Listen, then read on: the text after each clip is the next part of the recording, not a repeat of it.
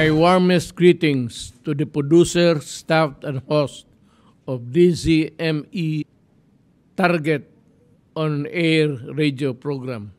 Over the years, you have provided the public with reliable news and information, as well as insightful commentaries and features. May you remain a strong partner of government in building a more informed and empowered citizenry. Congratulations, and I wish you all the best.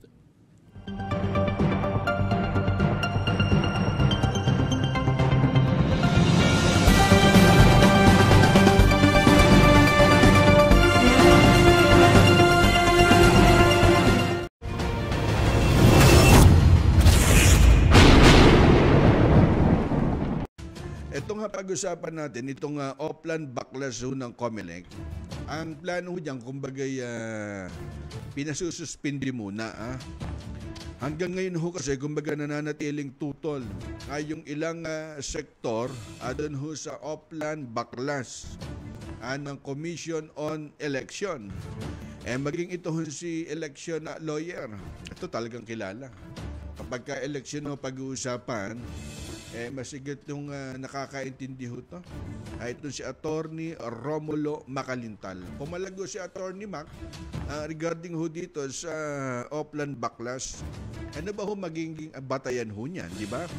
Kasi lumiyam ho siya sa COMELEC na nagre-request ho siya kumbaga pansamantala na suspindihin ay yung mga tarpaulin na removal activities sa ginagawa at habang hindi pa raw ho napaplantya, kumbaga may mga polisiya ho kasi dyan eh, di ba may mga sukat kung saan ho yun dapat tong ilagay.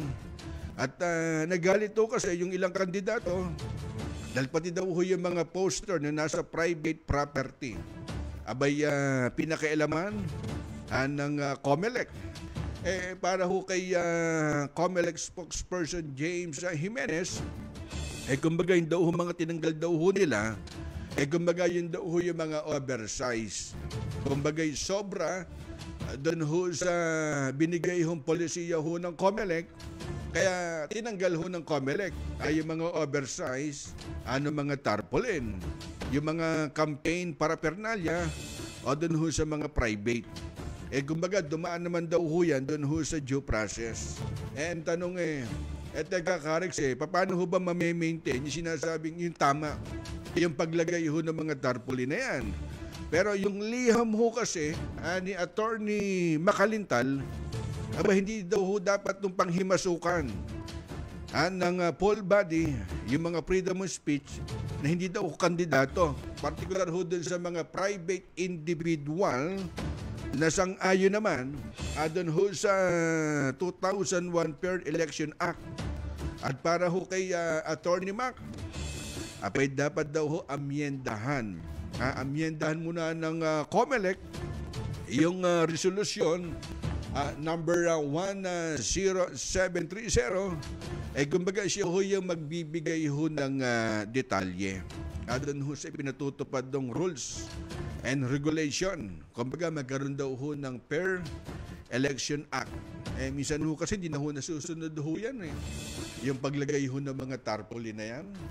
Eh, ang sisti nga ho yan, sila mismo, bantayan ho yan eh. At teka, baluwarte namin to ha. Bakit ba may tarpaulin ho dito? Kalaban ho natin yan eh. Ha? Sila na mismo ho magtatanggal ho nyo. Kaya sa kabilang banda, eh kumbaga, kaliwat ka ng sinasabing batikos na mistulang uh, nakahanap po ngayon ng kakampi. Ah, ang uh, COMELEC, yung sinasabing Oplan Baklas campaign poster, ano mga kandidato sa eleksyon, uh, eleksyon Mayo uh, 2022. Eh ang uh, sabi ho kasi ni Promdi, presidential candidate, uh, candidate uh, Senador uh, SMP, meron daw ho kasing sapat na basihan ay yung ahensya para baklasin ay yung mga campaign na poster na yan. Na hindi naman ho dapat daw hong uh, ilagay. Kumbaga sabi, pinag-aralan naman ho kasi ng COMELEC at uh, hindi naman daw ho bobot si Raulong COMELEC na basta na lamang ho magbabaklas ng campaign na poster. Maliban ho dito, pinaliwanag ho ni Senador Manny Pacquiao na wala daw ho siyang balak na kasuhan ng COMELEC Ah, kung sakali, natatanggalin ho yung kanyang ah, campaign na poster, ha? Eh, kung isa-isain ho natin, eh kasi mas marami ho dyan na hindi ho kandidato pero yung mga tumutulong ho mga negosyante na sila ho yung ano eh, kumbaga uh, voluntaryo. Na, teka, lagyan mo nga ho ng tarpaulin ho yan. At uh, itatawag na lang ho natin sa kampo ni Mayor, ni Governor, ni Congressman na yan ho donated by. Di ba? Marami ho yan eh. At uh, sabi ko nga ho sa inyo, kada eleksyon, marami ho dyan yung mga voluntaryo na sila ho yung masigit nung tumutulong. Eh, alam mo na, kapag ka ho nanalo, di ba? Hindi ho naiiwasan din sinasabing utang ho na loob. Di ba yung pagbigay ho ng ano, anang kapalit, ana posisyon. Eh di ba kahapon nga pumalag ho dyan ang palasyo ng Malacanang.